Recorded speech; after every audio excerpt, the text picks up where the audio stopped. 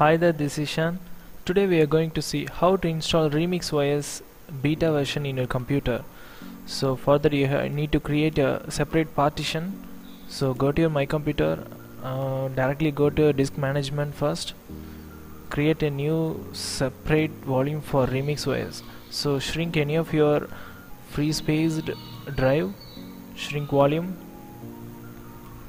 then enter the MB you needed so for that I used my calculator. So I, I need only 16 GB and uh, multiplied with 1024 then enter it in the space. That's all. Now click the shrink.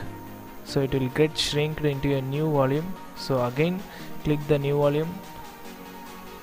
Next next.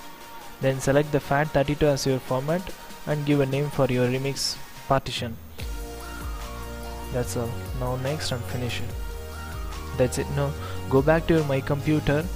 So the newly remix created remix OS will be there. So now extract the downloaded files. Remix 64-bit official beta version. Again open the extracted folder. Again extract your remix OS ISO file. So open the folder again.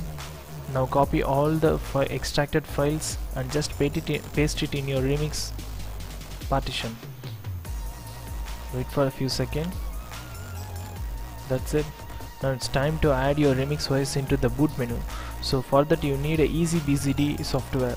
Install it and open and click the add new entry. Go to the NeoGrub and click the install button. Then click the configure so there will be existing text in there. So just delete it. Then download my remix OS supportive files it uh, had a password. Open the supportive files. Open the grub config text document. Copy all the text and paste it in your configuration file. That's it now here you see two numbers 0 comma 4 here the 0 which refers to your hard disk number and the 4 which refers to your partition number.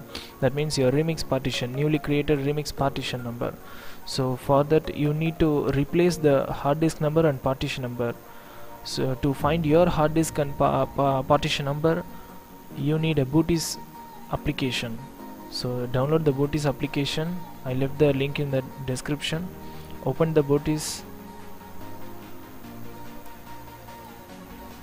here you find your hard disk number. If you are having two hard disk you will probably have hd0 and another option hd1 so replace it with your hard disk number then click the parts manage.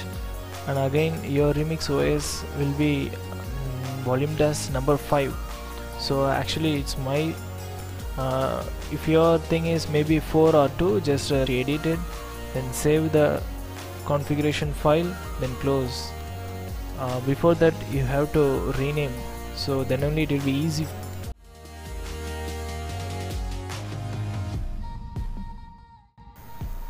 That's all. Save settings and click the tools and restart your computer.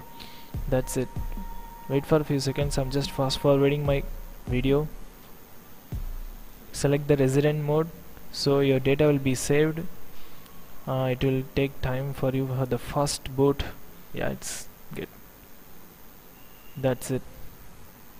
Thanks for watching this video. Please comment if you have any queries